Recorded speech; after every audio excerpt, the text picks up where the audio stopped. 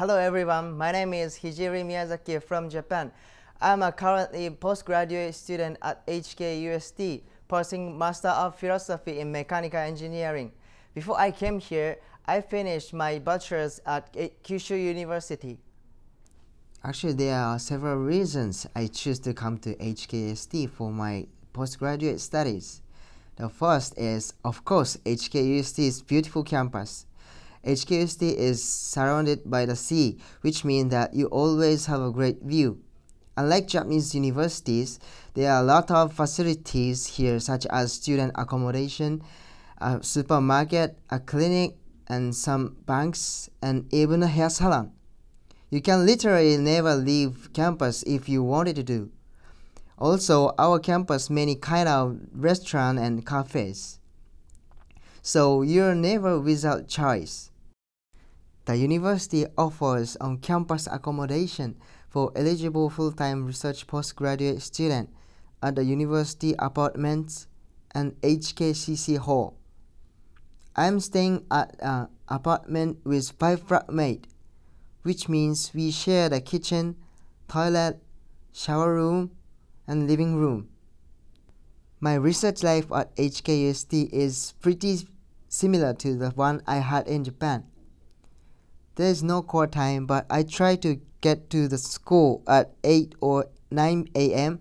and get back to the tower at 9 p.m. after I finish my lab meeting, experiment, and the class. I'm really enjoying my free time in Hong Kong as well. I always go out with my local friends and love mates to enjoy local food and the lively atmosphere. I've been trying many different types of activities and having experience in Hong Kong that I wouldn't have the chance to try in Japan. One of the things that really surprised me at HKUST was that it has a lot of interesting seminars and mini lectures almost every day that students can join for free. These seminars and lectures are on all kind of interesting topic such as AI, fintech, entrepreneurship, and so on. UST often invite external lecturers for these seminars and I always learn a lot about up and coming things. UST provides great opportunity to meet all kind of people with different background right here on campus. UST is very globalized university. In addition, the university itself provides a lot of event and opportunity where you can connect and interact with everyone else. To apply for HKUST, you have to submit your GPA, an essay, reference letters, and your IELTS or TOEFL scores.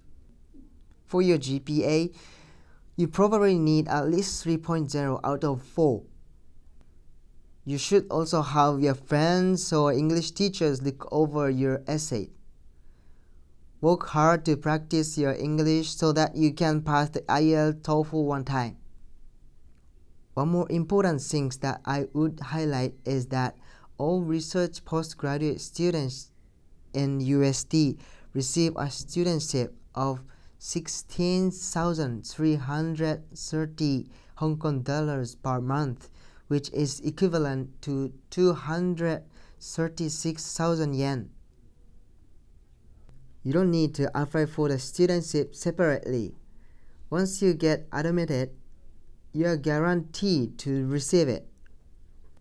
Of course, the renewal of the studentship is subject to your academic performance and research progress. Also, there are other scholarships available for research postgraduate students. I came here to HKUST by the Asian Future Leaders Scholarship Program. Recipient of it receive 18,000 Hong Kong dollars per month, which is equivalent to 260,000 yen. The rate is slightly higher than the standard studentship and applicant need to apply for it separately.